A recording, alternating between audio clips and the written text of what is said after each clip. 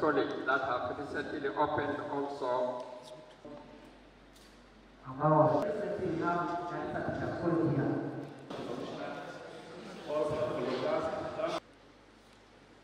We are also giving Is on Monday we are going to court so that the court can punish TSC for negligence and it is going to support us on the transfer of mandate. And we are going to pursue it vigorously. Is that we are going to demand that the mandate or the function of employing teachers from the should be withdrawn from the Teacher Service Commission for this region.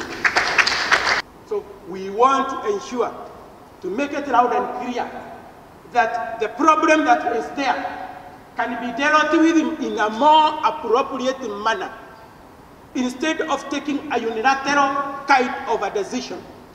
To me, that is not a solution. That is far-fetched and misplaced kind of a solution.